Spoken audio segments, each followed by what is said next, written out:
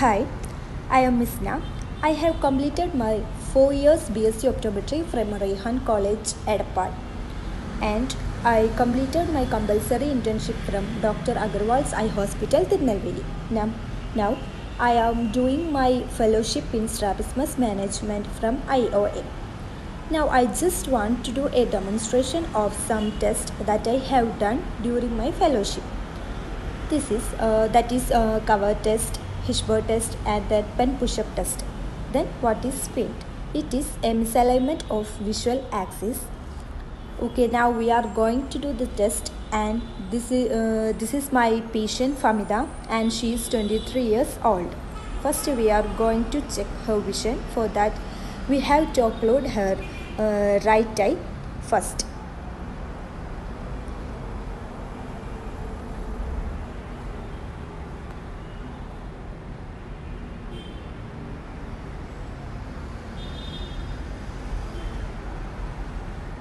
Then left eye.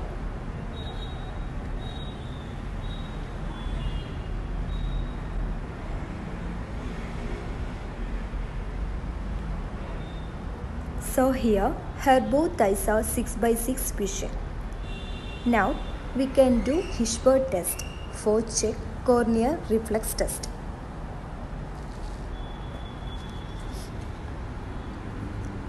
The examiner shines a pen light on the eyes from a distance and observe the position of the light that reflects off the cornea. If there is no squint, the reflection will be at the cornea of the pupil.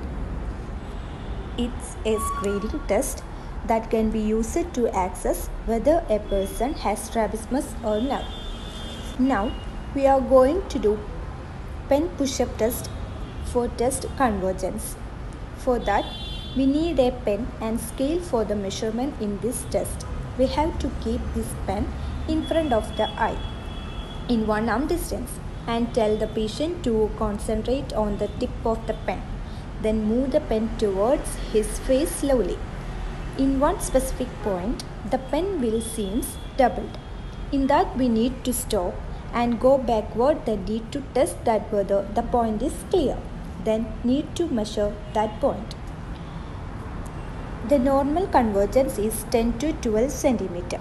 She has NPC at 15 centimeter. So she has convergence insufficiency. So this is how we per, uh, perform this test. Okay. Uh, next uh, we are going to demonstrate cover uncover test and alternate cover test. The test uh, done by using an opaque or translucent occluder to cover one side. The occluder is held in front of the eye for a few seconds and then removed. When the fixing eye is occluded, the examined will observe the non-occluded eye move to pick up fixation of uh, if atropia is present. If no tropia is present, the non-occluded eye will remain stationary.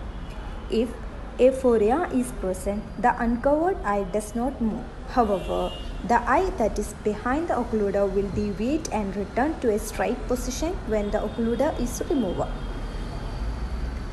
Then, uh, the alternate uh, cover test is most dissociate cover test and measure a total deviation, including the tropic plus phoic latens component.